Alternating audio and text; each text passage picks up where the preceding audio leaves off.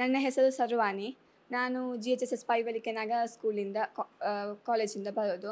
ನಾನಂದರೆ ಕಾಸರಗೋಡು, ಬಾಯಾರ ಸೈಡಿಂದ ಬರೋದು, ಕಾಸರಗೋಡು ಬಾಯಾರ್ ಪೈವಲಿಕೆಯಿಂದ ಬರೋದು. ಅಲ್ಲೇ ಪ್ಲಸ್ ಒನ್ ಪ್ಲಸ್ ಟು ಅಂದರೆ P U P U C ಮಾಡಿದ್ದು ನಾನು. ನಾನು ಗೌರ್ಮೆಂಟ್ ಕಾಲೇಜ್ ಅಲ್ಲೇ ಕಲ್ತದ್ದು ಒಂದಿಂದ ಟೆಂತ್ವರೆಗೂ ಆದರೆ ನನಗೆ ಈ ಎಕ್ಸಾಮ್ ಅಪ್ಲಿಕೇಶನ್ ಅಷ್ಟೇ ಸಿ ಟೆಕ್ ಅಪ್ಲಿಕೇಶನ್ ಹಾಕಿದೆ ನನ್ನ ಫ್ರೆಂಡ್ ಹೇಳಿ ಹಾಕಿದ್ದು. ನನಗೆ ಅಷ್ಟು ಇಂಟ್ರೆಸ್ಟ್ ಇರಲಿಲ್ಲ. ಈ ಒಂದು ಫೀಲ್ಡ್ಗೆ ಮತ್ತು ಲಾಸ್ಟಿಗೆ ಲಾಸ್ಟ್ ಮೂಮೆಂಟ್ ಆಗುವಾಗ ಹೇಗೋ ಹಾಕಿದ್ವಿ ನಾನು ಮತ್ತು ನನ್ನ ಫ್ರೆಂಡ್ ಅದ ನಂತರ ಇದರ ಬಗ್ಗೆ ಎಂಥ ಇನ್ಫಾರ್ಮೇಷನ್ ಇರಲಿಲ್ಲ ನನಗೆ ಎಂಥ ಕೂಡ ಅದರ ಬಗ್ಗೆ ಎಂಥ ಗೊತ್ತಿರಲಿಲ್ಲ.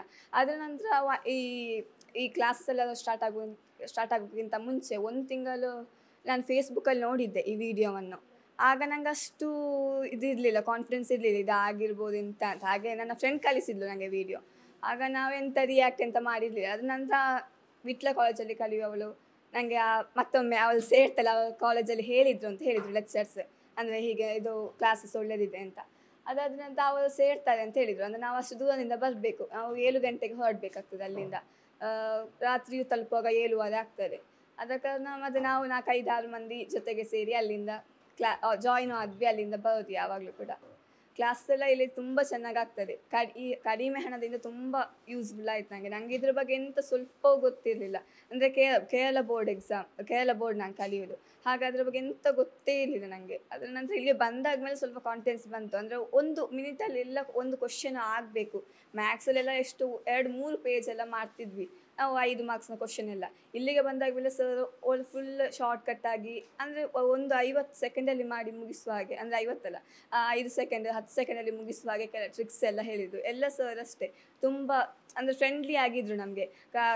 ಖಾಲಿ ಕಾ ಆ, ಹೀಗೆ ಟೀಚಿಂಗ್ ಮಾಡೋದು ಮಾತ್ರ ಅಲ್ಲದೆ ಹೀಗೆ ಕಾಮನ್ ಆಗಿ ಎಕ್ಸಾಂಪಲ್ಸ್ ಎಲ್ಲ ಹೇಳಿ ನಮ್ಮ ಜೊತೆ ಒಳ್ಳೆ ಇಂಟ್ರ್ಯಾಕ್ಟ್ ಎಲ್ಲ ಆಗ್ತಿದ್ರು.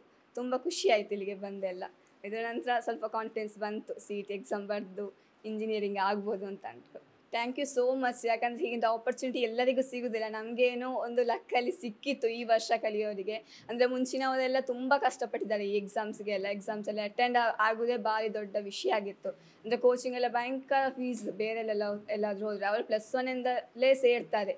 ಯಾಕೆ ಈ ಸಿ ಟಿ ಒಳ್ಳೆ ರ್ಯಾಂಕ್ ಸಿಗಬೇಕು ಅಂದ್ಕೊಂಡು ಪ್ಲಸ್ ಒನ್ ಎಲ್ಲ ಹಾಸ್ಟೆಲ್ ಎಲ್ಲ ಸೇರಿ ಕಲಿತಾರೆ. ಆದರೆ ಕೆಲವರಿಗೆಲ್ಲ ಅದರಲ್ಲಿ ಎಂಥ ಅಂದರೆ ಹಣದ ಬ್ಯಾಕ್ಗ್ರೌಂಡಿಂದಾಗಿ ಎಂಥ ಕಲೀಲಿಕ್ಕೆ ಆಗೋದಿಲ್ಲ. ಅದರಿಂದ ನಮಗೊಂದು ಈ ಆಪರ್ಚುನಿಟಿ ಸಿಕ್ಕಿತ್ತು. ಆಗ ತುಂಬ ಖುಷಿ ಆಗ್ತದೆ. Thank you so much for your opportunity thank you B N M I T